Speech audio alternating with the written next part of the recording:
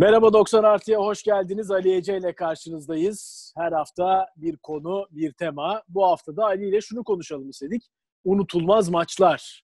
İkimiz de beşer maçlık bir liste yaptık. Elbette unuttuğumuz maçlar ya. Unutul, konu unutulmaz maçlar ama unuttuğumuz maçlar mutlaka olmuştur.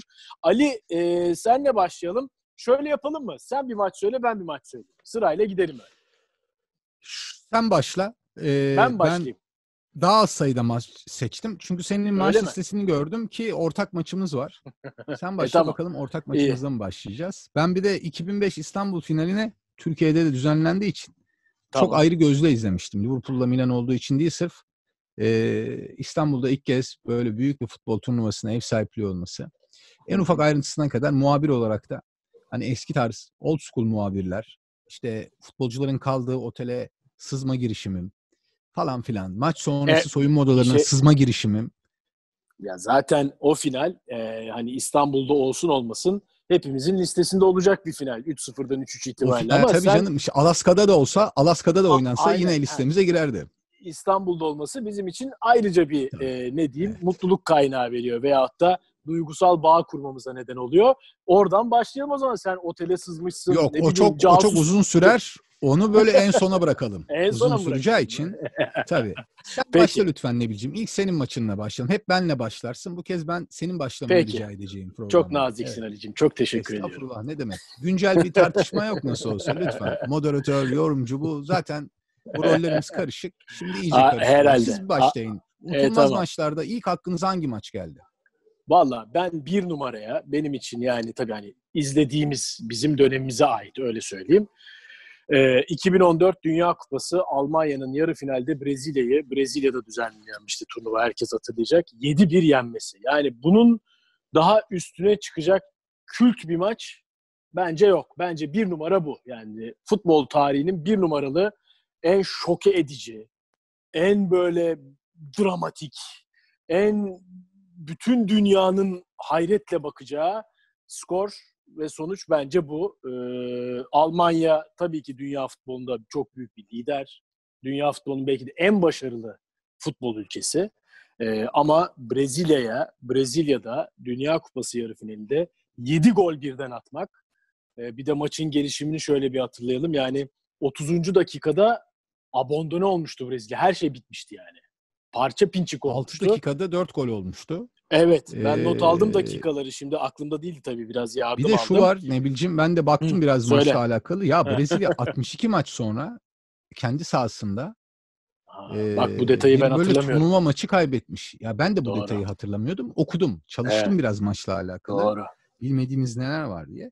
Ya tabii Brezilyalıların tarihindeki en önemli futbol, futbol acısı bu maçtan önce Maracana'da yaşanan 50'lik Dünya evet. Kupası finalinde de ev sahibilerdi. Uruguay'a finalde yenilmişlerdi ama az bir skor farkıyla.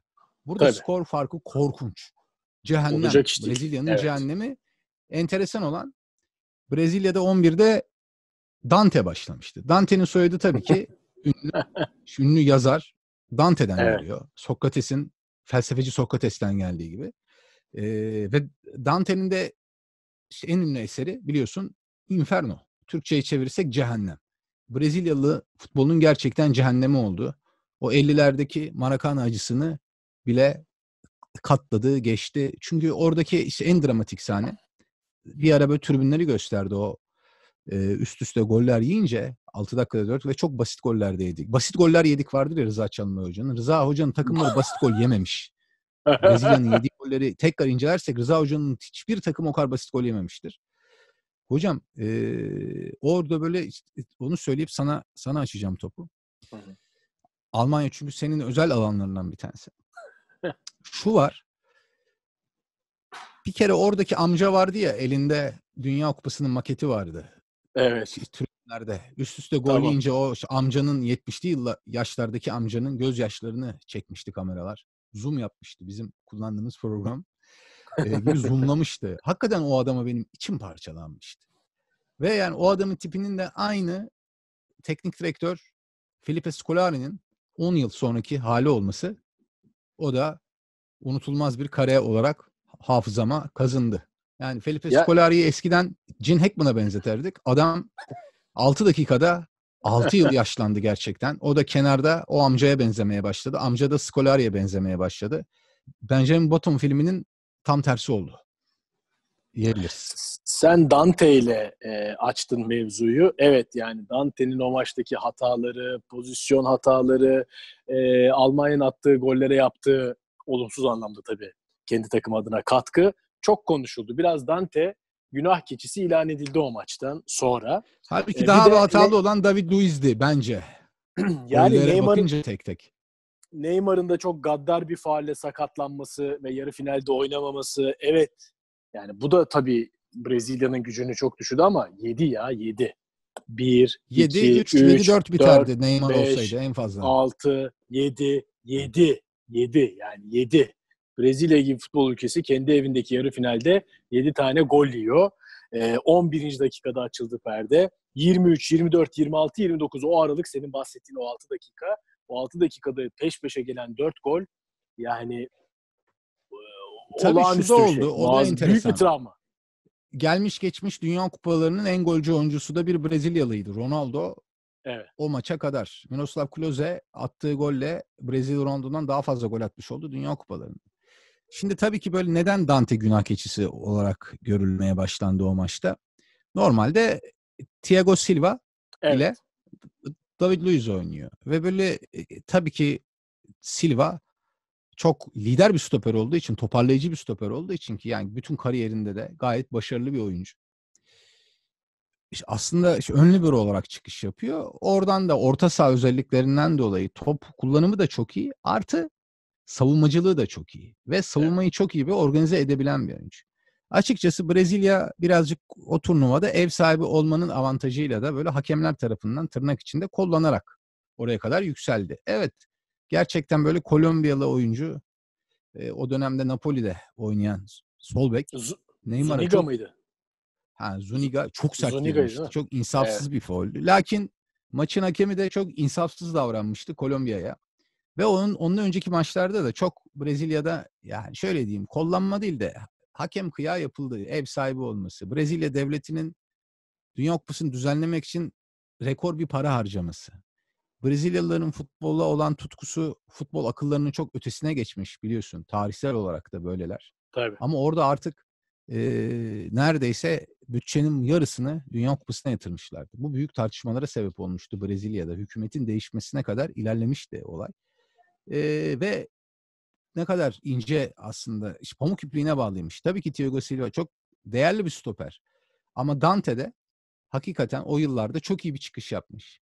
Tabii. Mönchengladbach'ın Şampiyon Ligi icat edildiğinden beri Şampiyon Ligi ön elemesine ilk kez katılmasını sağlamıştı performansıyla. O parlak performansından sonra Bayern Münih'in transfer etti ve yaşı da vardı. Yani 29-30 oraya gelmişti artık son 3-4 yılıydı kariyerinde. Hala devam ediyor o ayrı. Lucien Favre'ın oyuncusudur Dante. Daha sonra Nice takımına da götürmüştür. Ve Lucien Favre'ın oynadığı, oynattığı oyunda Dante işe yarar bir oyuncudur. Nedir bir oyun? Çok çok kompakt bir 4-4-2'dir. İki orta saha oyuncusu iki tane ön stoper gibi pozisyon alır. Unutmayalım mesela Granit Xhaka Arsenal'de hayal kırıklığı daha geniş alanda ofansif oynayan bir takımda. Ama Gladbach'ta hakikaten mükemmel gözüküyordu. Lucien Favre'ın oyun tarzında sol iç oyuncusu olarak sol iç stoper, ön stoper diyebileceğimiz şekilde daha defansif.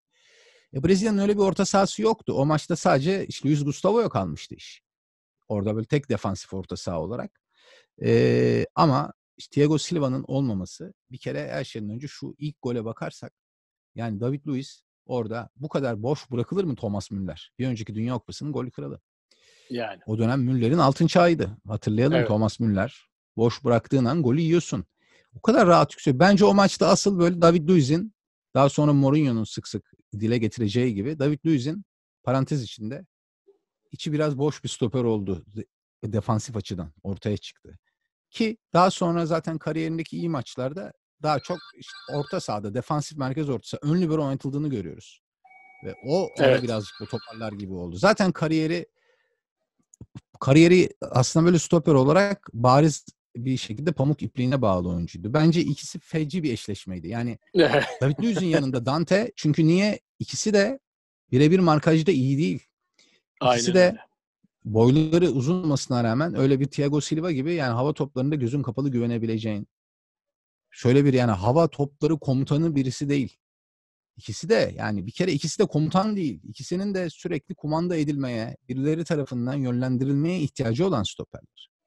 E, bu açıdan bakınca da Almanya gün doğdu. Bence 2010 Dünya Kupası'nda o benim çok beğendiğim Almanya var ya. Dünya Kupası'nı katılamadı. Dünya Kupası'nı özür dilerim düzeltiyorum. Kazanamadığı Kazanamadı. için şanssız talihsiz buldum. İlk kez futbolunu çok sevdiğim bir Almanya. İlk kez sevdiğim Doğru. bir Almanya'ydı 2010'da. Açıkçası 2014'te de o oyunun daha olgunlaşmışını oynuyorlardı. Açıkçası gruplarda da biraz zorlandılar. 2010'daki gibi öyle Arjantin'e, İngiltere'ye güçlü takımlara gol olup yağmadılar. Yok. Özellikle ikinci turda Cezayir maçında çok zorlandılar. Manuel Neuer'in hatırlarsan libero da geçti artık. Bariz bir ön libero gibi oynamaya başlamıştı. Ve yanlış hatırlamıyorsam Cezayir Filip karşısında. Lam ön libero oynuyordu. Orta saha başlamıştı. Ce- Tabii çok tartışılıyordu. Tekrar onu orijinal pozisyonunu aldıktan sonra evet. işler düzeldi ve turnuva sonuna kadar Aynen. öyle gitti. Bu arada şu da var. Grup grup aşamasında Almanya'da e, bek oyuncu yani Filip Lam da orta sahada oynatıldığı için bazı maçlarda geride 4 stoper oynuyordu. Evet. Mustafa, Schalke'nin hani vardır. Moskova'ya gitti sonra uzun boylu. E, o abi mesela sol bek oynuyordu. E, Halbuki e, stoper bayağı boyu posu da var. Hövedes, Hövedes. Hövedes. Benedik Hövedes. Çok iyi hatırladım. Benedik Hövedes. Aynen, aynen. Evet. Daha sonra Peki, maçlar ilerledikçe tıpkı 86'daki gibi e, Almanya daha iyi oynamaya başladı. O turnuva takımı kimliğini gösterdi ve bence zaten çeyrek final maçında çok iyi oynamışlardı. Ama böyle bir Brezilya, bu kadar trajik bir acınacak durumda bir Brezilya beklemiyorlardı. Almanya her zaman oynadığı aslında topu oynadı. Kısa paslarla evet. seri paslaştı. Ceza alanının içinde ortaya çıkardı yerden artık günümüz futbolunda en fazla gol olan e, işte asist girişimi kilit paslar onlar. Birden halı saha golü diye tabir ettiğimiz. aynen, aynen. O e, iç bölgesindeki boşluktan birini kaçırıp tek pasta o iç bölgesine kaçıran oyuncu da Mesut Özil. Yani o pası veren oyuncu. Asist asistini yapan. O maçta da Mesut'un var zaten böyle asist asistleri. Ee, Almanya içeri çıkardı. Mesela Toni Kroos'un attığı gol. Basit bir gol. Müller'in attığı basit bir gol. Klozen'in attığı basit bir gol ama işte zor olan futbolu basit oynamaktır. Gerçekten zoru başardığını söyleyebiliriz Almanya'nın tarihsel açıdan da farkın yanı sıra bu kadar kolay gol atılması yarı finalde görülmüş iş değil bence. Evet. Peki ben Brezilya Almanya ile perdeyi açtım. Sen devam et. İkinci hangi maçı konuşalım? Ee, şöyle madem milli takımlardan başladık. Milli takımlarda ben bu e, efsane eşleşmeler işte Arjantin'le İngiltere arasında oldu. 1986'daki maç da unutulmazdır. Ama Maradona özel programı zaten Maradona'nın fazlasıyla konuştuk. En altın sayfası, en yani işte altının hani en yüksek fiyat olduğu vardır ya Maradona'nın da en yukarıda olduğu an odur. Ya tabii ki Napoli şampiyon yapması falan çok büyük işlerdir. Çok çok büyük başarıdır ama bütün dünyanın izlediği bir maç değil Aynen. Napoli'nin şampiyon olduğu maç. Diğeri Aynen. bütün dünyanın izlediği maç. 86 finali, 90 finali. Maradona'dan sonra ama yine Arjantin İngiltere rekabeti devam etti. Evet. Ee, ve hakikaten ben 98'deki maçı çok seviyorum. Hmm, Michael Owen'in muhteşem golü. Yani Maradona vari bir gol atıldı maçta ama Arjantin'den birisi atmadı ki çok iyi takımı vardı Arjantin. Ortega'sı, Batistuta'sı, yedek olan e, Crespo'ları falan yani çok çok Simeone o zaman oynuyor. Evet, Diego maçın da kilit oyuncusu oydu zaten. Ha, ee, orada aslında Diego Simone daha sonra teknik direktörlükte de sık kullandı. Oyuncularına da böyle aşıladı. Mesela Diego Costa aslında rakibe foul yapar. Ama kartı foul yapılan kişi görür. O foul'e verdiği tepkiden dolayı. Diego Simone de David Beckham'a foul yapmıştı orta sahada. Çok bariz bir fauldü. Hakem gelip sarı kartı gösterecekti Simone'ye. Ama o esnada Beckham yerdeyken intikam duygusuyla Diego Simone'ye sert bir şekilde vurdu. Simone de normalde Simone'ye öyle vursan Simone hiçbir şey olmaz aslında. Hele Beckham gibi birinin Becker daha Simone'ye göre kibar insan görünüşü tipi olsun. Allah vermiş evet. yakışıklı adam. Yakıştırmazsın ya bakımlı falan bir adam. Hani kavga edip üstünü başını bozmaz beyaz gömleğini, kravatını öyle bir tip. Hollywood değil işte, gibi bir adam abi. Ama sağ içindeki mücadele de farklı. Beckham sert oyuncuydu. Beckham yakışıklı olmasa. Beckham'ın tipi mesela Simone tipinde olsa aslında Beckham da daha çok kart görürdü onu söyleyeyim. Beckham gayet sert oyuncuydu. Beckham çok iyi bir orta sahaydı. David Beckham orada çok büyük bir hata yaptı. Bir saat 10 kişi oynamak zorunda kaldı. Peki orada çok manşet, iyi başlamıştı maça. Manşetleri hatırlıyor musun sonra? Yani Korkunç. İngiltere'de Beckham'ın gördüğü muameleyi. Gerizekalı dediler. O... Gerizekalı başlığı var. Adını anmak Tabii. istemediğim bir gazetenin yani, yazdı. Zaten hiç sevmediğim bir gazete. Yunanistan'a attı. Kahraman friki... bir rezil yazdılar. On kahraman aynen, bir rezil aynen. falan. Yani o, adamın Yunan... bir adam bu kadar gömülmez. Yunanistan evet. 2002 Dünya Kupası golüne kadar golüne playoff kadar değil de son adam evet, va- evet. vatan haini damgasıyla e, evet. oynadı. E, hayatına devam etti. Şimdi orada aslında iyi bir İngiltere milli takımı vardı. Gerçekten ben İngiltere milli takımının genelde başarısız olmasını isterim ama çocukken Glenn Hoddle'ı çok sevdiğim için e, onun da böyle teknik direktörlüğünde Baltıl inanç doktoruyla garip garip çalışmaları ve lafları hariç ki zaten bu yüzden görevine son verildi. Engelli insanlarla ilgili son derece çirkin bir laf kullandı. Kendi inandığı bir şeye göre ama İngiltere'de kimse o lafa saygı göstermedi. Doğrusunda yaptılar. Yani e, hatırlamak ve hatırlatmak istemiyorum ama oyun çok iyiydi. Yani daha böyle topu şişiren klasik İngiliz oyunu değil de özellikle David Beckham, Paul Scholes, Michael Owen daha yeni kuşağın ön planda oldu ve Alan Shearer gibi ustaların, Teddy Sheringham gibi ustaların da onlara e, uyum sağladığı, daha modern bir oyun oynuyordu. Güzel oynuyordu. Arjantin için Maradona sonrası hakikaten hiç kolay olmadı. E, doğru düz bir şey kazanamadılar Messi döneminde bile. E, o yüzden hala insanlar Maradona dönemi çok ayrı anlatıyorlar. Lakin sadece Maradona ile açıklayamayız. Çünkü 86'da şampiyon olmakla kalmadılar. Çok da güçlü oyun oynadılar. Her maçta rakibe oyunlarını domine ettiler. İşte e, mesela finalde Almanya karşısında 2-0 öne geçtiler. 2-2 oldu ama 3-2 yapabildiler. Ama 90 takımı öyle değil. 90 takımı Maradona, Kanica, işte savunmada e, 86'dan kalan Real Madrid stoperi Ruggeri, bir de Sensini gelmişti oraya. Geri kalan oyuncuları zaten ilerleyen yıllarda görmedik. Ama kalecileri iyiydi Arjantin'in o yıllarda. 98'de de Carlos Roa çok iyi kaleci. Carlos mu işte Roa çok iyi kaleciydi. İngiltere'nin ise hiçbir zaman çok iyi kalecisi olmadı. E, Seaman'ı ben beğenirdim kaleci olarak ama gerçekten öbür mesela bir işte Oliver Kahn'la falan karşılaştıramıyorsun. Yani Almanya'nın seviye, kalecisi kadar iyi olmuyor. E, elit seviye kalecisi hakikaten olmadı. Doğru söylüyorsun. Yani evet. Shilton yıllarca oynadı zaten. 40 yaşına kadar neredeyse Dünya Kupası'nda oynadı. O da elit miydi? Çıkmadığı Yoksa için, iyisi çıkmadığı süre, için. He, uzun süre oynadığı Daha için mi? Için. Evet. Yani. Peki. Peki. Ee, ne, bir sonraki maça geçelim istersen. Yani tamam, sen seç. maçları konuşuyoruz. Ben buradan şeye atlayacağım. Ee, 99 Şampiyonlar Ligi finaline. Süper fikir. Yani Zaten benim, bir yıl sonra Arjantin İngiltere'den. Evet doğru. Yani çok da kendi adıma iyi olmayan bir anısı var. Ben o gün ben ikinci öğretim okuyorum. Okuyordum e, İstanbul Üniversitesi'nde. İkinci öğretim tabii beş buçukta başlıyordu dersler bizim o zaman. On buçukta falan bitiyordu. Sınav Aa, dönemiydi. Maç kaynadı tabii. Sınavdan çıktık. Ben hızla, süratle eve dönüp maça yetişeyim, final yetişeyim derken kaza yaptım. Çok şükür kimseye bir Çok şey olmadı. Hani şeyli e, araçlar parçalandı biraz ama bana da Geçmiş çarptığım arabaya maça da bir yetişme. şey olmadı. Maça yetişme. Tabii ben maça yetişemedim. Evet. Sonradan seyrettim. Evet. Yani o e, 90 artıda gelen iki golü canlı canlı yaşayamadım ama sonradan seyrettiğimde bile çok etkilenmiştim. E, evet. Çok Süper acayip bir maçtı. Evet, çok bir acayip maç bir... olarak süperdi. Aynen, çok Tam anlamıyla denk güçlerin tam anlamıyla denk güçlerin mücadelesiydi. Çünkü finalde karşılaşan Bayern Münih ile Manchester United o sezon Şampiyon Ligi gruplarında da birbirine rakip olmuşlardı. O dönemdeki bir statüyü hatırlarsak o gruplardan doğrudan birinci gidiyor ikincilerden en iyi ikisi gidiyor. Manchester United'da grubu ikinci bitirip en iyi ikinci olmuştu. Oynanan iki maçta grupta ama berabere bitmişti. Enteresan olan maçların birinde Bayern Münih 89'da gol atıp beraberliği koparmıştı. Yani birbirine çok yakın Doğru. takımlar oldu. Bir anlık bile konsantrasyon kaybı. Bir de tabii şundan bahsetmek istiyorum. O sezon Alex Ferguson yönetiminde Manchester United tarihi bir üçleme imza attı. Bayern Münih kazansaydı o tarihi üçleme imza atacaktı. Bayern Münih genellikle işte Almanya'da son dakikalarda gol atmasıyla bilinen takım. Manchester United'da İngiltere'de. Zaten o yıllarda o son dakika golleri çok belirleyici oluyordu. Türkiye Ligi'nde de hatırlayalım. E, 90 artılar. Ama böylesi görülmedi. Derken görüldü aslında. Alex Ferguson bu işi çok iyi biliyor. Ya bu şüphe götürmez bir gerçek. İlerleyen yıllarda bir kere kafadan Manchester United tarihinin en iyi teknikleri oldu. Belki de Premier Lig tarihinin en iyilerinin yani ilk üçte olduğu artık hiç tartışılmayacak bir gerçeğe dönüşecek. Bence zaman Alex Ferguson'ın yanında Manchester United'ın sonraki halinde görünce. Tabii şu var. Büyük tecrübe abi. Adam Manchester United'dan önce daha zayıf bir takımla Manchester United'da göre. Aberdeen'le Bayern Münih'i yenmeyi başarmış bir adam. Ve yine sonradan oyunu aldı. Solskjaer, Sheringham tipi bir forvetle.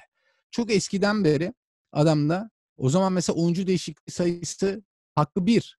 Ve tek Tabii. hep o işte yedek golcüyü. Howitt diye bir tane oyuncu var Aberdeen'de. Çeyrek finalde Bayern Münih son dakika golü atıyor. Evet. Aynı evet işte Kupa Galatasaray Kupası finalinde bu kez Aberdeen Real Madrid'i yenerken daha da güçlü bir takım o yılların Real Madrid'i. Yine Hewitt sonradan giriyor yine son dakikada atıyor ee, ve gerçekten de bu işi biliyor. Orada da önce aldığı Sheringham sonra Solskjaer ikisinin de golü United'da daha fazla oyuncu değişikliği hakkı var o dönem 99 yılında. Artı e, daha geniş kadrosu var. Daha çok parası var kulübün. O parayı kazandıran da Ferguson. O da ayrı bir şey. Yani Ferguson bunu daha önce yapmış. Ve itinayla yapmaya devam ediyor. O sezon çok maç var. 75'ten sonra o kadar gol atmışlığı var ki o sezon Manchester United'ın. Ben bir ara Forfortu'da müdürken böyle işte dosyalar hazırlardım.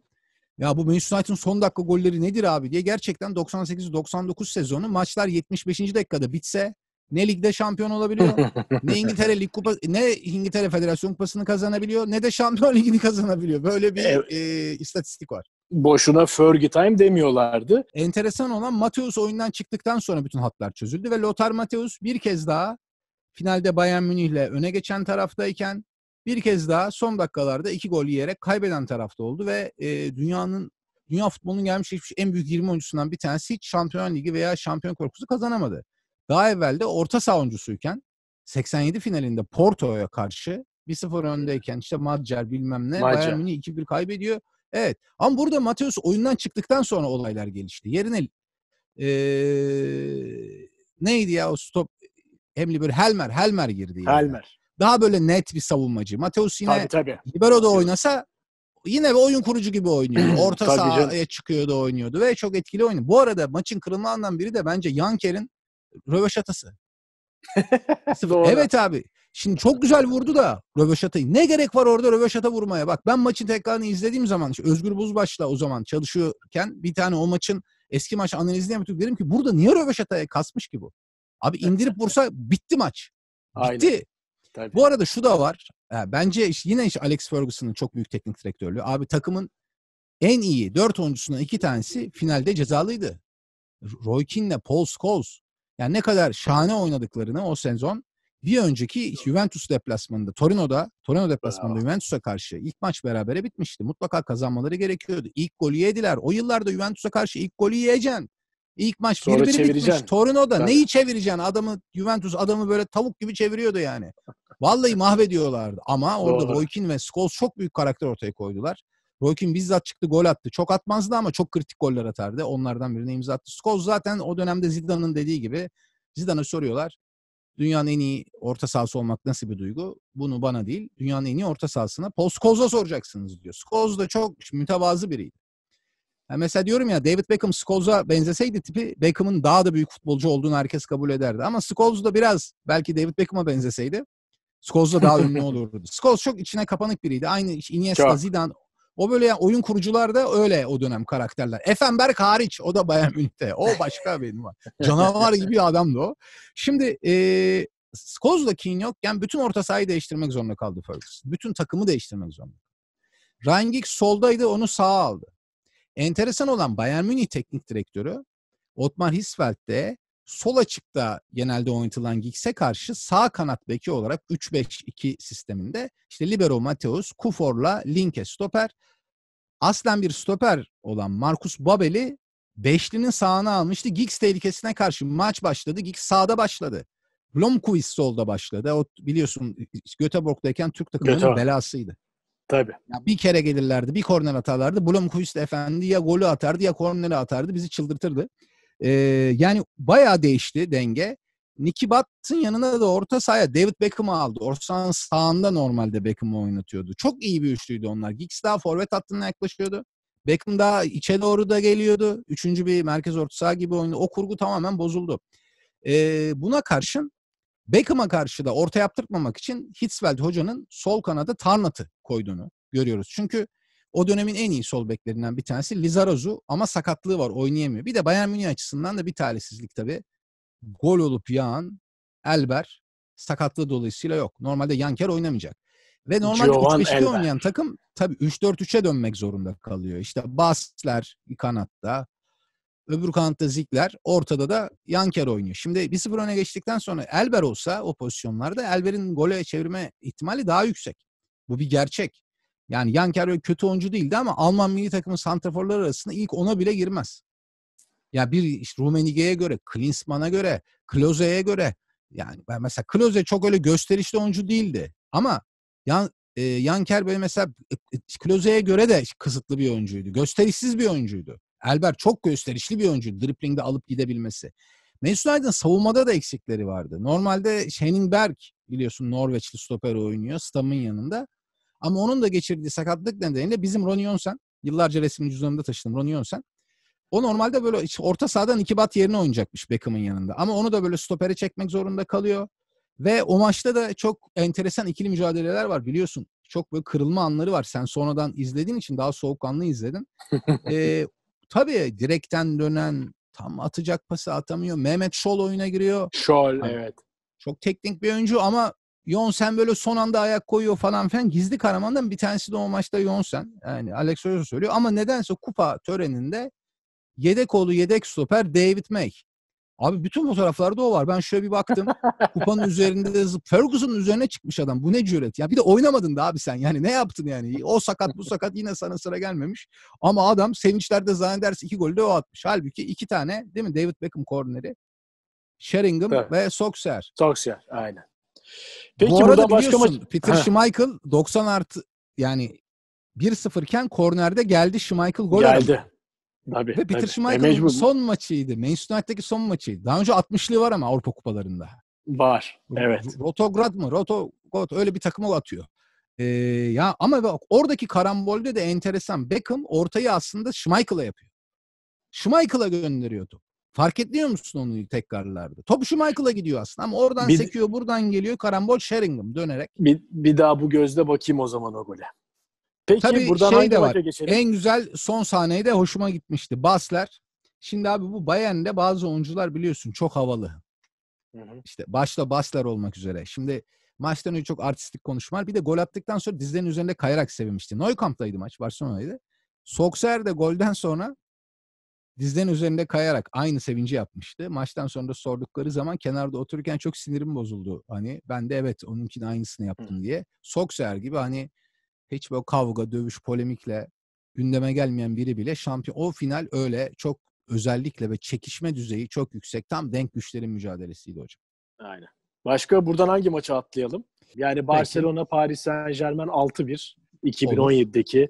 Yani 4-0'ın rövanşında kendi sahanda bir de gol yemişken hele bir de artık dakikalar 85-86'yı gösterirken e, henüz skordan çok uzakken e, 6-1 kazanmış olmak son 5 dakikada 3-4 gol birden atarak o maçı ve turu çevirmek bence unutulmaz maçlar listesine girmeyi fazlasıyla hak ediyor. Unutulmaz unutulmaz hakem hatalarında da o maçta en az 3 tane sahne çıkar. Hangi önce hatırlamıyorum. Paris Saint Germain'de 5-1 iken bomboş gidiyor. Evet. Arkadan Mascherano'nun yaptığı hareket sadece penaltı ve kırmızı kart değil. Aynı zamanda adamın sağlığına kastetmekten 3-4 maç ceza. Yani onu söyleyeyim. Hiçbir karar, hiçbir şey çıkmadı karar. Ben o maçta Barcelona'yı tutuyordum ha Paris Saint Germain'e karşı. Onu da açık açık söyleyeyim yani. Ayrıca üst oynamıştım o maça. Çoktan tutmuştu kupamı. Benim hiç derdim, sıkıntım yok. Tamamen şimdi aynısını düşünüyorum. Beşiktaş'a karşı olsa ben keçileri kaçırırım. Liverpool'a karşı olsa çok sinirlenirim falan filan. Orada tarafsız gözle de yani o pozisyon Mascherano'nun abi hakemin çok büyük hatasıdır. Bir kere onu kabul edelim. Yine de Unai Emery'nin en büyük hatasıdır. Unai Emery neden birinci sınıf değil de başaltı takımların başarılı hocası olabileceğini gösterdi. Neden Arsenal'de de başarılı olamayacağını o maçta göstermişti. Zaten Monaco şampiyon oldu abi o sene Fransa'da. Öyle değil mi? Süper başarısız bence o Paris Saint Germain kadrosuna göre Unai Emery Paris'te. Ee, o maçta da hakikaten olacak iş değil. İki yersin, üç yersin ama bir yerde oyunu soğutursun. E, iyi savunma oyuncuları da var abi yani şimdi öyle kötü savunma oyuncuları, kötü kaleci durumu Hangisinde hatalı kaleci mesela? Savunmada Yok, ama... şöyle bir çok büyük hatalı performans sergileyen birisi var mı? Ama peki şey ilginçti. Ya izlerken maçı ba- bağırıyordu yani. Geli, gel, geliyor böyle gümbür gümbür geliyordu sanki. Yani o hissi Barcelona'nın ki o Barcelona tabii çok iyi bir Barcelona. O hissi Paris Saint Germain gibi bir rakibe verebiliyor olmak, sindirmek rakibe e, o da hani Barcelona'nın o kadrosunun e, gücü belki de gücünü anlatan maçlardan bir tanesi. Ama ikinci maçlar Barcelona'da olunca bunlar geçerli. Evet. Son yıllarda... Barcelona Liverpool eşleşmesinde gördüğümüzde ondan öncekinde gördüğümüz gibi Barcelona'nın çünkü geçenlerde Nihat Kahveci anlattı bana. O tribünlerin yakınlığı aslında saha rakip takıma 5 metre enlemesine daha geniş. Boylamasına 10 metre daha geniş gibi geliyor. O tribün ambiyansı nedeniyle ki Nihat'ın oynadığı yıllarda daha iyiydi tribünler. Sonra tabii ki turistik biletlerin satışının daha karlı olması nedeniyle biliyorsun Nou bir ara Nerede abi Katalan Matalan anlatıyorsunuz da hiç görmüyoruz. Herkes Japon burada ya. Yani o durum vardı yani. Ama o maç öyle değildi. O maçta dediğin gibi Avrupa kupalarına özgü tabii. Barcelona tabii. için önemli bir maçtı. Ama yine de şunu söyleyeyim. Unai Emery'nin gerçekten Unai yani şimdi bak birazdan şeye de geleceğiz. Milan Liverpool finaline de. Carlo Ancelotti'nin abi 3-0'dan finalde maç verilmez. Ee, yine öyle bir 4-0'lık avantajdan 6-1 yenilerek elenilmez abi. Teknik direktör hatasıdır bunlar. Onu Önce açık kaybede- açık söylememiz lazım kaybedene bakarım diyorsun. Avantajını yitirene bakarım diyorsun. Abi çok bir de Paris'in kadro falan geniş abi. Mesela o Real Mönchengladbach maçları gibi hani ilk maçı 5-1 kazandılar. ikinciyi 4-0 kaybettiler de abi Real'in yedek santraforu Santillana, Gladbach'ın yedek santraforu kim? Kendisi bile hatırlamaz o yedek santraforu. evet abi yani şimdi arada büyük bir Paris Saint Germain de bütçe olarak, kadro olarak o Butragueño Real Madrid gibiydi be abi. Yani yedek öyle. oyunculara bak. Sen o dakikalarda Gerçekten. oyuncular mı alınır? Şampiyonlar Ligi'ni kazanmak üzere kurulmuş bir kadroydu da ki hala da o iddiasını sürdürüyor yani. Hep öyle kadrolar kurmaya devam etti. Zaten çok eskiden bahsetmiyoruz yani 2017'den bahsediyoruz. Tabii ama Peki, şunu da söylemek hı. lazım. Şunu da söylemek lazım. Barcelona'nın da son demiydi o maç. O da bir gerçek. Evet. Belki de finali Barcelona finalini yaptı. O maçta. Ya o Barcelona Olabilir. hani Messi'li Barcelona en son nasıl? Çünkü ben örnek vereyim yani o Enfield'da yarı finalde o kadar eksiği varken Liverpool'un Barcelona'yı eleyeceğine ben çok çok düşük ihtimalle veriyordum. Yani maçı evet. izlerken yani hazırdım. Her an bir kontratak bir tane yedi mi bitti iş. Barcelona götürdü diye hazırdım. Çok böyle konsantrasyonu bozuk, çok dağınık, takati kalmamış bir Barcelona vardı o gün sahada. Evet. E bir sene önce de Roma Paris'e evet Roma maçı da öyle mesela. Bir sene önce Hadi, de aynı Liverpool neyse de Roma'ya yani ha tamam işte kaleci kaleci Alisson Becker. İyi oyuncular var kadroda. Cengiz var bizim falan. Ama abi yani mesela o Liverpool'da da o gün en iyi oyunculardan iki tanesi yoktu. Yani çok eksikleri vardı o gün Liverpool'un. O bak şeyin özeti şu. O dediğim Paris maçı Messi ile Barcelona'nın son böyle hani o altın çağının son sayfası gibi gözüküyor. Neden? Galiba evet. Roberto'nun o çıkıp attığı gol var ya o sonuna kadar maçı bırakmama. Evet. Altyapıdan yetişmiş oyuncu aslında orta saha sağ bek oynuyor ama öne çıkıyor. O dakikada baskıyı kaldırıyor yapabilecek en iyi vuruşu yapıyor. Güzel gol Roberto'nun vuruş. Vallahi iyi gol yani. Ee, ama öbürü de mesela ya orada Trent Arnold, Alexander Corner atacak. Daha iki senedir A takımda oynuyor bu adam. Yani bir bak. Hiç bakmıyorlar bile. Origi bomboş. Trent biraz hızlı kullanıyor. O reklam panosuna çarptı. Çocuktan topal. Barcelona orada yokmuş gibiydi. O da bence Barcelona açısından şimdilik en azından şu ana kadar oynanan maçlarda bir devrin kapanış maçı gibiydi. Oradan maç galiba galiba öyle. Peki Barcelona Zaten teknik direktör kapan... değişikliğine kadar gitti o işin sonu. Aynen öyle. Barcelona'da. Evet. Peki gelelim e, ne diyelim gözümüzün nuru Şampiyonlar Ligi finaline. İstanbul'da olağanüstü bir karşılaşma. E, Milan ilk yarıyı 3-0 önde kapatıyor. Herkes bu iş bitti diye düşünürken hem de Milan bir İtalyan takımı 3-0 bir devreyi önde kapatıyorsa Fatih Hoca'nın dönmez. devre arasında yorumcuyken söylediği gibi değil mi? Aynen. Ya kim olsa başkası ya gerilini kıra sorsan o da herhalde şey diyecek yani. Ne diyecek ki? Aa, hayır şimdi Liverpool ikinci yarıdaki taktikleriyle bu maçı alıp çevirip 4-3 kazanır demeyecekti herhalde gerilini kırda yani. Ee, sen şimdi program başında dedin ki ben otele sızdım işte bir şeyler böyle Mission Impossible bir şeyler anlattın. Bir onu aç bakalım. Casusluk Tabii. mu yaptın? Ne yaptın abi? Yo, Liverpool şimdi... yoksa senin sayende mi Milan'ı yendi? Eledi, Ay, şampiyon şimdi oldu. bana bana dediler ki beni tezin bir takım şans getireceği böyle batıl inanç gibi şeyleri var. Nedir abi Benitez. bunlar? Ben bu işi evet abi normal çok adam profesör gibi gözüken bir bilim insanı gibi gözüküyor evet, kenarda. Öyle bir havası var. Evet, böyle santimleri hesaplayan falan böyle. Aynen aynen. Şöyle hareketler yapar hani mesela. Tabii tabii evet. Tabii olumsuyor falan. Hakikaten milimetrik hesaplar yapan birisi. Doğru yapar yapar evet. O finalden önce adamın baltın inançlar acayip ağır basmış. Hmm. Valencia'dayken UEFA finalini kazandıkları zaman giydiği iç çamaşırının aynısını. Hayda. Hayda. Onu saklamış Post, yani. Onu saklamış Enteresan. yani. O var. Evet, evet. İlla onu bulacaklar evde. Evde çalışanlar, eşi falan. Bu arada işte kızı almış, üzerinde böyle Tazmanya canavarı varmış. Bak şimdi ayrıntılara, bilgilere bak ya. İlla o. Tamam daha mı? derin daha derin detaya girmeyeceğiz değil mi? Burada Yok duralım. hayır. Şimdi oradan geçtik Benitez'in eline. Abi elinde sürekli böyle kalem vardır değil mi? Ee? O kalem marka reklamı olmasın diye söyleyeyim. Markanın Söyle, adını söyleyeyim. Me Mont Blanc'mış. Tamam mı abi? Tamam. Tamam. Adam o kadar saplantılı şekilde onun şans getirdiğine inanıyor ki 2016 evet. FA Cup finaline giderken aynı kalem. Yenisini de almıyor. Bitmiş kalem yani Hı. yanında taşıyor. Uçakla Liverpool'dan Londra'ya giderken John Lennon havalimanında demişler ki yalnız el bagajına bu kalemi alamazsınız demişler. O zaman ben binmiyorum uçağa demiş. Arabayla gelirim ben. Aman Rafael falan filan bilmem derken pilot demiş ki tamam demiş. Pilot duymuş. Bana getirin ben de dursun.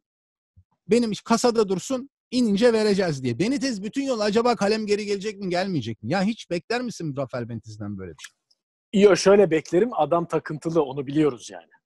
Abi bu ama yani bu kalem mi abi yok, yani yok. neyse. ee, şimdi abi şey ama bütün bunları yaparken o büyük taktisyen dediğimiz ki finale gelene kadar büyük taktisyenlik göstermişti. Valencia'yı ligde şampiyon yaparken de Valencia'yı UEFA şampiyonu yaparken de gerçekten. Özellikle Rafael Benitez'i niye seçmişti Liverpool? Valencia Liverpool maçları vardı. Felfecur etmişti. 1-0 bitmişti maç ama 7-8-0 biterdi. Valencia kazanırdı yani. 7-8 olmasa 4-5 olurdu Liverpool. Yani oyun olarak sürklase etmiş. Çok etkilemişti. Ee, ama yaptığı taktik plan o ana kadar ne yaptıysa finale gelmek mesela Juventus karşısında muazzam plan, Leverkusen karşısında muazzam plan. Ve yani eksikleri var. Xabi Alonso o sezon oynayamıyor. 4 ay bileği kırılıyor. Frank Lampard'ın lig kupası maçıydı sanırım. Ya bir, bir tane Chelsea maçında çok kötü bileğine basıyor Lampard. Yanlışlıkla da olsa kırılıyor. Ve Xabi Alonso yokken Igor Vişcan, Dietmar Hamann falan ama finale nedense Sherry Kivill'la çıkıyor. Gerard Alonso. E karşısında Milan var. Milan'ın şöyle bir orta sahayı hatırlayalım. Dört merkez orta saha. Savunmaya en yakın derin oyun kurucu Pirlo. Sağ iç pozisyonunda defansifte ağırlıklı oynayan Gattuso. Sol iç pozisyonunda daha ofansif açılan ağır basan Seydorf. Yani bir kere kafadan iki tane oyun kurucu var geride. Pirlo, Seydorf. Biraz daha geride biraz daha ile. E, ön önünde de Kaka var. Maç bir başladı zaten. Bu Kaka şov. Neden? Tabii. Çünkü Pirlo elini kolunu sallaya sallaya geldi. Kimse pres yapmıyor. Benitez demiş ki maçtan sonra ben aslında Sherry Kibble'ı Pirlo'ya markaj yapsın diye oraya koydum. İyi ki finali kazandı da. Rafael Benitez'e buralardan yüklenmiyoruz. Yani gerçekten Sherry Kibble'ın hiç gördünüz mü öyle oynadığını kardeşim Ma- yani? Hani markaj yaptığını. Çizgiye koyarsın adamları geçer çatır çutur girer şutunu atar çok güzel falan filan. Ortaya koyarsın serbest derin pas çok iyi atar verkaç çok iyi yapar. ikinci havuru çok oynar da defansif katkı ne yapmış abi adam nasıl bir plan.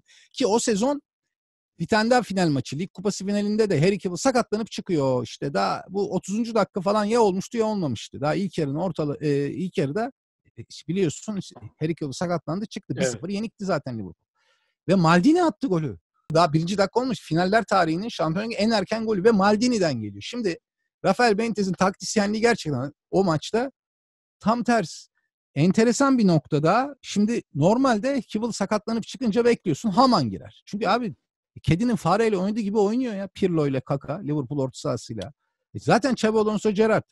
Hani Gerrard o dönem daha ofansif olarak Tabii, görevlendiriyordu. Evet. Xabi Alonso da hani tamam derin oyun kurucuydu ama şöyle bir Dietmar Hamann gibi böyle mermer gibi oyuncu değildi yani. Tam tersi daha tekniğiyle oynayan bir oyuncuydu. Top becerisiyle oynayan oyuncuydu. Abi çok saçma bir şey. Aslında böyle devre arasında Jimmy Traore'ye demiş ki ben seni oyundan alıyorum. Çünkü yine felaket oynamıştı ki ilk yarıda. İkinci yarıda çizgiden top çıkardı o ayrı ama. Ya da uzatmalarda. Abi adamı göndermiş duşa sen çıktın. Onun yerine oyunu aslında Haman'ı o zaman alacak. Ama Kibble sakatlandığı zaman çok garip bir şekilde Vladimir Smicher'i alıyor. Liverpool kariyeri evet. hayal kırıklığı dolu bir oyuncu. Yani o sezon da çok az oynamış. Ayrıca ne amaçla alıyor falan hiç bilmiyoruz ama devre arasında böyle taktik tahtaya çok yazmış çizmiş. Onu yazmış, bunu çizmiş, kafa karışmış. En son demiş ki Steve Finnan'la ilgili e, masör demiş ki Finnan oynayamaz. Finnan hayır oynarım oynayamazsın canım şişmiş bileğim falan diye Jimmy Traore'yi duştan çıkarmışlar. Adam duş yapmış yani biraz. Açmış falan kramponunu e, Evet evet tabii tabii. Adam giyinip bir daha Traore ikinci yarı tabii duş yapınca da adama rahatlama gelmiş herhalde. Liverpool kariyerindeki en iyi o uzatmalarla beraber 75 dakikayı oynadı. Ben sana söyleyeyim. Yani zaten iyi oynamışlığı yok. Kendi kalesine golleriyle ünlü sakarlıklarıyla. Bambi on ice. Yani bir yavru ceylanı al buz pistine çıkar. Traore öyleydi abi. Daha ayağa kayar orada olur. Bilmem her türlü sakarlığı yapar. Lovren daha iyi stoperdir. Kayıtlara geçsin şok mu oldum? Vallahi daha iyi stoperdir. En azından stoperdir yani. Bu sol bek mi stoper mi? Maça sol bek başladı. Onu da yapamadı. Ha. Ben söyleyecek bir şey bulamadım. Lovren, Lovren, Lovren'in olduğu bir cümlede daha iyi yani. Lovren'den daha iyi. Lovren'den daha kötü. Ben sana 20 stoper sayarım. O ayrı. Ben şu anda o, o maaşı, o kar ya abi gitsin Roma'da ya, gayet iyi oynar bak gör. Başarılar diliyorum kendisine. Roma'ya giderse öyle haberler çıktı heveslendim. Neyse evet, dönersek evet. 2005'e. Dönelim 2005'e evet. Şimdi devre arasında çok böyle düşük tempolu bir You'll Never Walk Alone vardı. Daha böyle hani iş bitmiş artık. Ağıt yakar gibi. Normalde daha coşkuyla söyle böyle falan. O arada Fatih Hoca işte tabii maçta yorumcu. Ya ben de aynısını düşündüm canım. Milan 3-0'dan maç verim diye. Ama sonra bir baktım ne bil. O Milan Mayıs ayında bir maç kazanmış. Ve ligde şampiyonluğu havlu atarken Juventus'la mücadele ediyorlar. Hemen Liverpool maçının çok yakınında bir maçta 3-1 öne geçip 3-3 berabere kalmış. O sezon sürpriz değil diyorsun yani aslında. Hayır yani bize çok sürpriz gelse de ilk yarıda Milan'ın çok iyi oynaması, Liverpool'un berbat oynaması nedeniyle abi yani bak 2003 Şampiyonlar Ligi şampiyonu var. 2004'te hatırladım sonra onunla not aldım ya. Çeyrek finalde Deportivo La Coruña karşısında 4-1 kazandıktan sonra Riazor'da İspanya'da hmm. 4-0 yenilmişlerdi. Aynı oyuncular abi çoğu. Pirlo'su, Kaka'sı, evet, Seydorf'u aynı oyuncular. Efsane eşleşmelerden biri. Yani biraz böyle kırılgan bir takım ama şunu da kabul edeyim. Allah için. 52. dakikada Sami Hipya'nın Kaka'ya yaptığı hareket maç 0-0 olsa hakem kırmızıyı gösterirdi Gonzales. 3-0 olsa iş bitmiş, fiş çekilmiş kafasıyla yaklaştığı için bence oyundan atmadı. Sarı kart bile göstermedi. O enteresan tabii ama o direkt kırmızı karttı. Sami Hipya'nın Kaka'ya yaptığı hareket. Onu da kabul etmem gerekiyor kesinlikle. Dudek'in kurtardığı var. Ya daha 3-0 iken zaten maç 3 kere daha Milan'ın artık fişi zaten çekmişti de tamamen dükkanı kapatma. Şalteri indirme. İndirme evet. Geldi o aşamaya mesela orada kaçırdığı pozisyon Şevçenko'nun Dudek şansında yardımı bak. Yani sonra bir tane de uzatmalarda kaçıracak. Ama abi Gerard'ın kafa çok iyiydi. Ben sana söyleyeyim. Dida biraz hatalı diye düşünüyorum objektif bakınca. Şeyin golünde de yani penaltı pozisyonunda da Gattuso çok kontrolsüz girdi. Yani böyle bir telaş yaptılar. Bir sinir başladı. Belki de o daha önceki haftalar ya da te, Riazor'da yaşanan skandal geri dönüş. Yani ne bileyim İtalyan takımı maç vermez. Tabii biz de öyle biliyorduk ama verdi işte yani. Ee, ya Smiçer gol attı abi. Hani hiç bekler miydik? Bekledik, yıllarca bekledik. Smiçer 2000'lerin başında falan gelmişti. 99'da falan yıllarca bekledik. Smiçer gol atacak, Çek Cumhuriyeti'ndeki gibi oynayacak. ne, gez ne gezer? Adam en, kritik anı beklemiş abi. Meğerse sağ kanat bekiymiş adam. Yani 3-5-2'ye döndü ikinci yarı mecburen. Rafael Benitez. Jimmy Traore sol stoper. Carragher sağ stoper. Sami Hipya. Ortada sağ kanat beki Smiçer Finan olmayınca. İşte duştan çıkartıp sen oynuyormuşsun Jimmy yanlış olmuş şu an. Traore'yi oynatıyor. Sol kanatta tek başına ise işte Luis Garcia ile Gerrard da Milan Borus'un arkasındaydı. Bu arada Milan Borus'un ben 3 golde tekrar izledim. Milan Borus'un aldatıcı koşulları, rakibi oyalaması. Valla Borus'un o özellikleri çok iyi. İyiydi iyiydi. Baruş çok Belki iyi Gol sayısı Liverpool'da çok yüksek değildi ama o Şampiyonlar Ligi'nin kazanılmasında o hücum aksiyonları çok önemli fark oluşturdu diye düşünüyorum. Gerçekten iyi oynamıştı o sezon. Ee, bir de şey enteresan. 3-2 olan Smicher'in golünden önce hangi oyuncu? Ha, Liverpool paslaşıyor, geliyor. Gol olacak 4 pas, 5 pas sonra. Orta sahada Kaka durmuş böyle çorabını çekiyor. Yanından geçen topa müdahale etmiyor. O dikkatini çekti mi? Ya Milan'ın mental Yoksa... kırılganlığı şimdi dönüp bakınca meğerse Milan meğerse bizim varmış. sandığımız kadar mental açıdan güçlü bir takım değilmiş yani. Değilmiş. Gerçi sonra Liverpool'dan rövanşı aldılar. E abi bir yani, zahmet yani e, orada bir daha Atina'da da yine aynı şekilde evet. geçip maçı verirsen artık yani. Yok. bir de abi şimdi şu da var. Liverpool açısından sürpriz tabii. O sene finale çıkmaları da şöyle bir sürpriz. Zaten ligde kötülerdi. Ligi 5. bitirdiler. Şampiyon Ligi şampiyonu olunca İngiltere 5 takım katıldı. Yani önelemelerden başladılar da birinci önelemeden başladılar. O Malta ekiplerinin başladığı öneleme turundan Tabii başladılar. Büyük tartışma olmuştu Liverpool nasıl evet. başlayacak diye. Evet. Şampiyonlar Ligi'deki takım sayısı nasıl Galler ekibi TNS ile oynamışlardı bak ilk öneleme turunda. O kadar yani, o kadar geriden başlamışlardı. Şimdi e, bir de o sezona da öyle kötü başladılar. Mesela işte Avusturya ekibi işte Grazer vardı. Ona eleniyordu ya. Graz, Grazer takımına eleniyordu. İlk maçı bir sıfır kaybettiler Enfield'da. Olympiakos'a eleniyorlardı. Son dakikada o Neil Mellor, Gerrard araya sıkıştırdılar. O indirdi, öbürü vurdu falan. Yine gidiyordu. Gruplardan itibaren hani böyle bir özellikle Leverkusen'ı yenince çünkü Leverkusen o yılların çok güçlü takımı şampiyon ligi finali yapan takım yani. Tamam hiçbir şey kazanmadılar. Tabii. Neverkusen. Never yani hiç kazanmaz. Ama güçlü takımdı, iyi takımdı ve Liverpool'u felfecür eden bir takımdı. Tabii iki yıl öncesinde Şampiyon Ligi'nde öndeyken Liverpool, Leverkusen geriden gelip mahvetmişti Liverpool. Ben hatırlıyorum. Yıldırım falan süper oyunda bir maçtı o. Bu sefer Liverpool işi şansa bırakmadı. Leverkusen olsun Juventus ve Chelsea maçı da bence final kadar etkileyiciydi. Tabii. O tabii tabii. O zaman bir de rekabet vesaire tartışmalar. Ama bir şey söyleyeceğim. Ben orada Hı. Mourinho diyor ki top çizgiyi geçmedi. Bence de evet. geçmedi de hocam penaltı kırmızı kart pehce o zaman kurallarıyla. Benim işim o gelir yani. Durdurup baştan oynayalım istiyorsa yani. Luis Garcia'nın topu çizgiyi geçmemişti. Hocam Çeh penaltı yani yapılarak. Değil mi hocam şimdi? Kırmızı kart direkt o zamanın kurallarıyla. Keşke gol vermeseydi, penaltıyı verseydi. Ben hala zaten o hakeme çok sinirleniyorum o açıdan. Ha, Mourinho intikamını aldı Gerrard'ın ayağının kaydığı maçta. Onu söyleyeyim. Ama Doğru. yine de yeni yeni bir rekabet başladı diyebilir. Çünkü o sene çok karşılaştılar. Ligde iki maç, lig kupası finali, şampiyon evet, ligi beş kez üste. oynadılar. Evet, beş kez oynadılar ve ilk kez Rafael Benitez'in fendi Mourinho'yu yendi. Ee, bu arada Mourinho'nun da adı çok geçiyordu Liverpool'da. Porto'da başarılar alırken. O da ayrı bir şey. Mourinho'nun cep telefonunda Liverpool arması olduğunu yazan çizen o dönemden Portekizli gazeteciler var anlatan. E, gitmediği için onu seçmedikleri için bilendiği ama daha sonra da diyor ki Abramovich'in o kadar paraları o bütçe varken niye Liverpool'a gitsin diye. Liverpool'da yalnız parayı ne kötü harcamış abi o sene. 14 milyonu kafadan Sise'ye vermiş. Gider ayak Gerard Hulye Bey. Ee, ve enteresan olan bu 4-2-3-1'ci Benitez'in ikinci yarıda mecburen 3-5-2 oynamak zorunda kalıp Liverpool kariyerindeki en efsane başarıya imza atması. Benim için en garip olay odur. Ve bir de penaltılarda Dudey'in 2005 yani aradan 21 yıl geçmiş. Zaten Liverpool en son 84'te kazandı. Şampiyon Kupası evet. adı. Abi yine Roma, Roma karşı evet penaltı atışlarında o bacakları birden böyle titretmeye başlıyor. Grobeler. Grobeler'in spagetti bacak numarasını Dudek niye yapıyor? Nereden biliyor? Adam hani, tarihini okumuş abicim. Ve hakim abi adam tarihi. Hakim Çek, adam öyle. Yani Çek diyorum şey Polonyalı kaleci Polonyalı. İşte, işte Çek biliyor. Smiçer de biliyormuş onu. Biz onu düşündük böyle yapsak mı falan diye. Abi baya yani o Liverpool'u tabii tekrar büyükler sahnesine somut şekilde taşıyan maç odur. Doğru. 2005'teki finaldir ve son büyükler sahnesinde bıraktı. Dünyanın dünyanın olmasa Avrupa'nın en iyi takımıyken bıraktığı yerden ilham alıp devam etmesi. Şevçenko'nun kaçırması. Yani enteresan işler bunlar. Gerçekten çok enteresan. Milan kısmı da ayrıca incelemeye değer. Yani o ligdeki maçlar falan filan yani Mayıs'ta tek maç kazanmış olmaları ve bir de hep şöyle açıklanıyor. Efendim devre arasında Milanlı oyuncular kutlamaya başlamış. Evet. Öyle söylenir hep. O kadar basit değilmiş ya.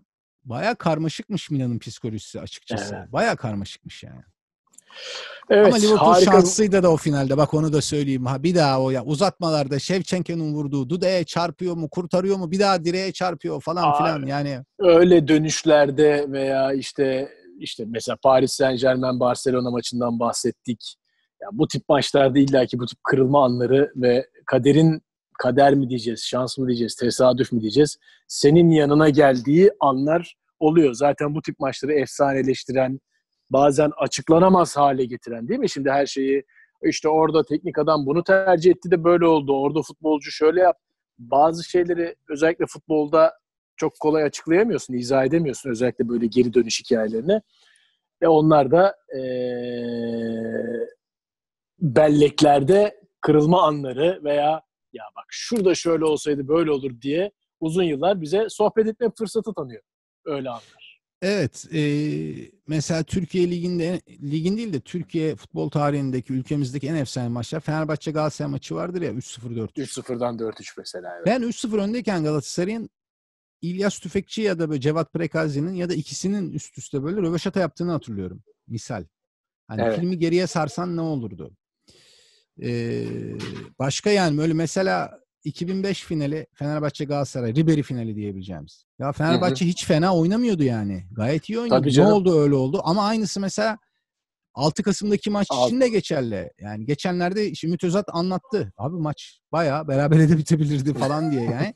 Hakikaten tekrar izleyince aradan yıllar geçince daha somut görebiliyorsun. Yani ben mesela o mucize diyordum Liverpool'un Milan'ı yenmesine. İstanbul zaten biz buradayız taraftar falan. Yok abi yani Milan'ın gayet zayıf bir noktası varmış. Ve o 6 dakikada 3 gol yemek Tabii. bunun böyle bir nevi böyle zirvesi oldu. Turnusol kağıdı oldu. Yine de ben bir şey söyleyeceğim abi. Yani o maçtaki ve Xabi Alonso performansı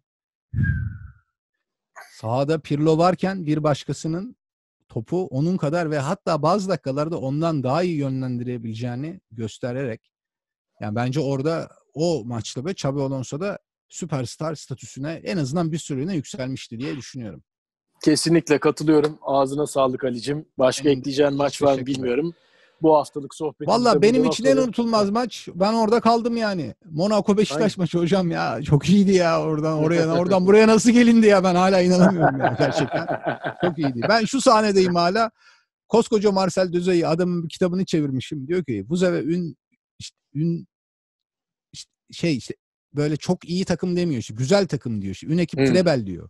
Nasıl hmm. yani dedim. Ya işte Cenk'le diyor, işte Tosun'la diyor Babel'in sevinmeleri, işte böyle kalecinizin kendine güveni. Adam tam anlatıyordu. Aldılar beni apar topar yayına götürdüler abi. Ya olur mu ya? Babayı dinliyorduk. Ben orada kaldım hala ya. Biz sev bir şöyle tadına da varamadık anladın mı galibiyetin? Şurada koskoca Dünya Kupası şampiyonu gelmiş. Şampiyon Ligi şampiyonu gelmiş. Adam anlatıyor. Beni aldılar orada kolumla. Abi yayın. Ne yayın ya? Yayın yayın. Ah bu Yaptık televizyoncular işte yok mu? Ah bu televizyoncular Evet ama abi hiç tadını çıkaradığımız bir maç. Yani abi orada kaldım ben yani. Bazen onu da söyleyeyim. Çünkü bazı konuştuğumuz maçları sade taraftar olarak izlediğimi hatırladım da. Hı hı. Çok Anladım. başkaymış ya 99 evet. finali falan gerçekten. Aynen öyle. Alicim yine buluşacağız, Görüşmek görüşeceğiz. Üzere. Görüşmek üzere. Kendinize çok iyi, iyi bakın arkadaşlar. Görüşürüz.